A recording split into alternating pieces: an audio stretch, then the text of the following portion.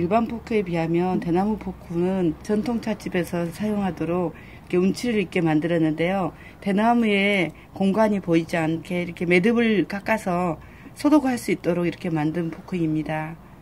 네, 찍을 수 있게 이렇게 되어 있고요.